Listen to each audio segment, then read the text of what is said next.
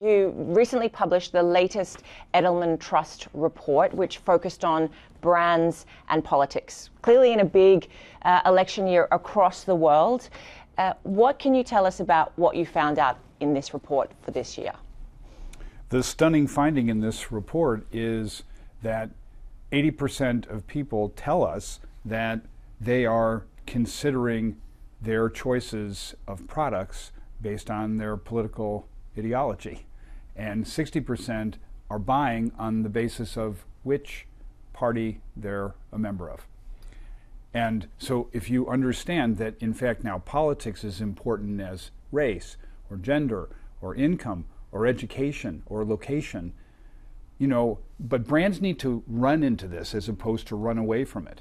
Because our data also found that if you don't say something about the issues, the consumer will assume that you are complicit, uh, more, than, half. So, and especially Gen Z, 60%. By five to one, people want you to say more about climate. By four to one, more about fair pay. By two to one, on race and diversity. So be clear, it's not only that silence is complicity, it is also that if you're silent, you're irrelevant. Yeah. We want you to be in the game. The key to brands is hope. And marketing gives us a sense of optimism of what the world can be. And that's a really vital role in a time of real concern about the future. Edelman's working with some of the biggest brands across the world. How are you seeing companies approach this somewhat sensitive subject? I think the smart companies are recognizing that uh, it's a different thing to be political and to be in politics.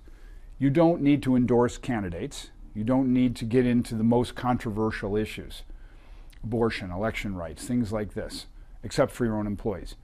But on the matter of being political, sustainability, diversity, equity, and inclusion, uh, even geopolitics, these are all things that consumers are considering. And so you need to have um, a stance, and it needs to be visible and you need to be consistent and it needs to be also coherent with your own corporate uh, values. The other really important point is that you have ideological diversity on your marketing team.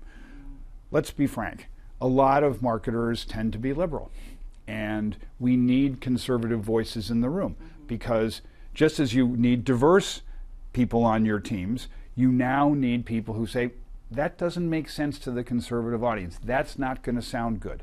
You shouldn't do that.